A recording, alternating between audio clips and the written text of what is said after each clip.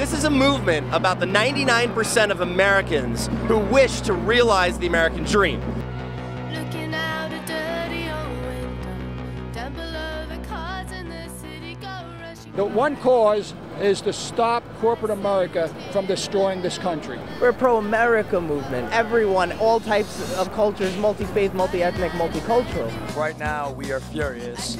We are overtired, and we want action now. The idea is we want to change politics, we want to change the system. The corporations want us to arrest the poor man stealing a loaf of bread in the city, whereas almost all crime is caused by white collar crime. All the policies reflect their needs and not the needs or the protections of the mass of the people. It's them taking away jobs and exploiting the poor, giving them minimum wage, horrible working conditions. We have either choice of Barack Obama, who's bought, or a bunch of fucking lunatics who are bought and like want to go to war with Iran and should really be cartoon villains in Disney. That's not a choice. The 1% doesn't care what they do to become richer. Even if it's making people homeless, making people go hungry, as long as it's maximizing their profits, they're for it.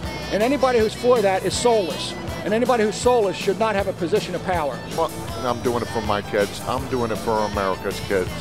Because if we don't bring the corporations, the rich, Wall Street, and the banks back to reality, there's going to be nothing left for the next generation. Certainly the corporations have already screwed the American dream up. But that 1% rules the world. That 1% sits on gold toilet seats while others are starving. That's not right.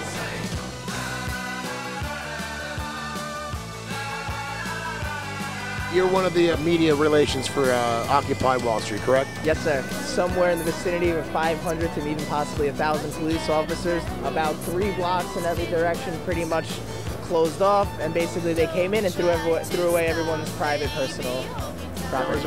that just like money is an extension of freedom of speech, perhaps a tent is an extension of freedom to assemble.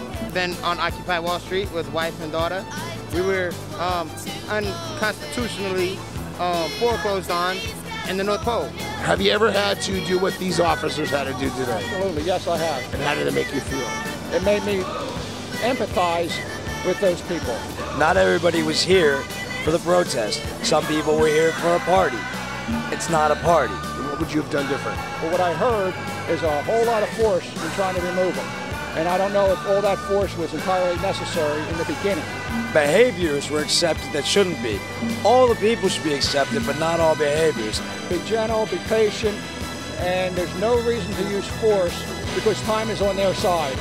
So you just wait and you try to convince them to move. Do you think these officers are good cops or bad cops?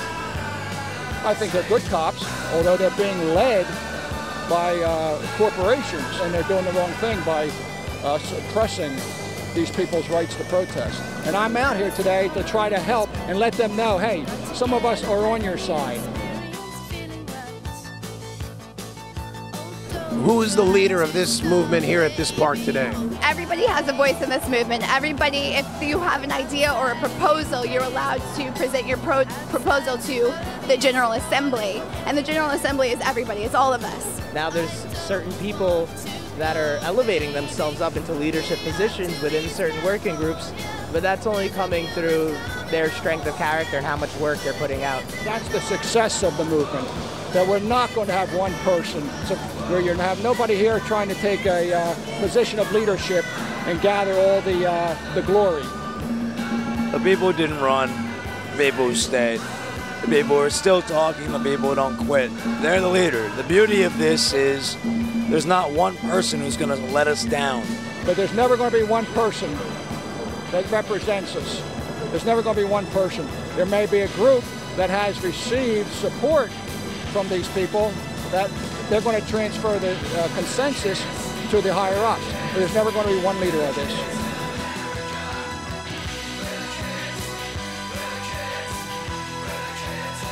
Let me just say this much.